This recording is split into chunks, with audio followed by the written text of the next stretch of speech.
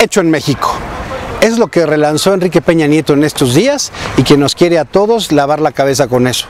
Ya le dijimos que la unidad va a ser en torno a Andrés Manuel López Obrador, que la unidad va a ser en torno a todo lo que es el interés del pueblo, pero no de un merolico ahí demagogo nefasto que ha entregado el país como lo hicieron sus antecesores y que según esto, con hecho en México, vamos a fortalecer nuestra economía. Nosotros tenemos algunas cosas que decir al respecto. En ese sentido, pues habríamos, tendremos que estar revisando pues todo lo que compone a una industria. Por ejemplo, Starbucks ya sacó cartas de que está llorando, de que sí le está pegando el asunto del boicot mexicano. Tenemos mucha fuerza como mercado, Coca-Cola también se la puede pues echar, se le puede echar abajo, pero resulta que con esto de hecho en México nos surgieron a nosotros varias dudas en el Hijo del Rayo. Primero, ¿cómo se va a generar esto de la marca de hecho en México? Porque bueno, pues tenemos serias dudas respecto de qué va a ser mexicano y qué no, porque las empresas transnacionales han comprado muchas de las pequeñas empresas locales y esto que era lo nuestro nacional, pues resulta que ya es parte de un corporativo extranjero. Entonces, si nosotros decimos, por ejemplo, Starbucks y dice Alsea, nosotros somos 100% mexicanos. Bueno, sí, pero ya dijimos que son una bola de gente traidora que prefiere comprar cosas extranjeras y venderlas como marcas en vez de esforzarse por ellos mismos y lograr cosas por ellos mismos. Y resulta que, por ejemplo, habría que revisar todos los insumos que tienen. ¿A quién le pagan los derechos de franquicia? Entonces, ah, bueno, ¿significa entonces que el nombre Starbucks también es mexicano y que no se le paga ningún peso a Starbucks? Queremos saberlo. Es el mismo caso que tenemos otros productos. En el caso particular de este asunto, de hecho en México, sabemos que el gobierno federal va a estar cobrando por tener ese sellito. Esa imagencita de hecho en México va a tener un costo. No todo mundo va a poder poner en su marca hecho en México.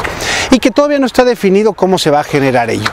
Así que bueno, habría que pensar seriamente si esto es algo que vale la pena o no desde el gobierno federal. Desde el gobierno federal ya sabemos que todas las ofertas van a ser de mentiras y que se van a unir a diferentes organizaciones empresariales para sostener esta mentira. Porque muchos empresarios efectivamente se aliaron con estas marcas extranjeras para chingarnos, porque para ellos más fácil era el billete y no tener un amor realmente por este país. Es un nacionalismo responsable del que nosotros estamos hablando, un nacionalismo que en sí nos puede fortalecer verdaderamente. Pero imagínense ustedes que decimos HSBC en México. Ah, es una empresa mexicana porque tiene miles de empleados en territorio nacional. ¿Realmente las ganancias son para nuestro país o es para el corporativo que está fuera de México? Pasa con la mayoría de la banca, pasa con la mayoría de los productos. Cuando entras a un supermercado o entras a una, tienda, por ejemplo estas de, de oportunidad que le llaman, encuentras un chorro de marcas y de dónde son realmente los corporativos. Eso habría que estarlo revisando. Por ejemplo, uno de los productos que más enorgullece a muchos mexicanos es el chocolate abuelita. Sin embargo, abuelita pues se ha comprado por Nestlé. Entonces, ¿para quién va a ser ese dinero? ¿Realmente estás comprando un producto mexicano para hacer valer la fuerza de la economía nacional? No, no es así.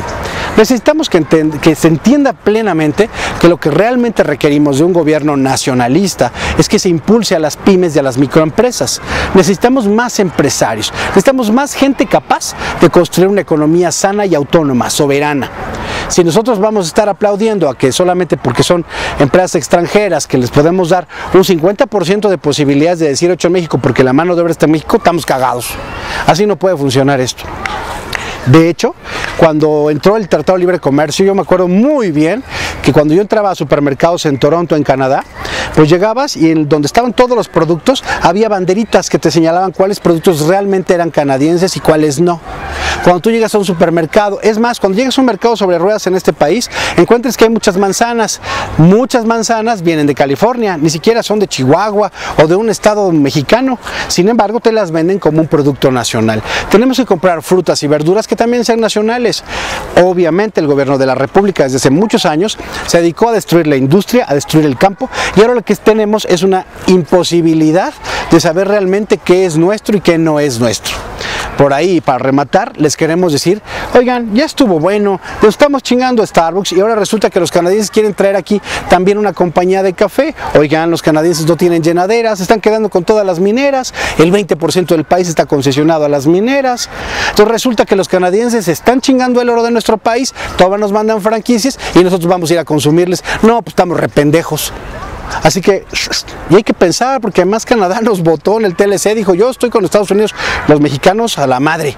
Así que piénsalo bien, empieza a analizar lo que estás consumiendo y apoya solamente lo que sea mexicano al 100%, lo que sea consumo local y lo que sea industria nacional. porque nuestro país puede volver a florecer. Depende de ti, de mí y de la capacidad que tengas para elegir bien las cosas y gastar en lo que debe de ser. Eso te apoya a tu bolsillo, te apoya a mi bolsillo y al de todos nosotros. Y así podemos enfrentar a cualquier trompetero idiota que ande por ahí en el mundo. Desde el Hijo del Rayo, consume local.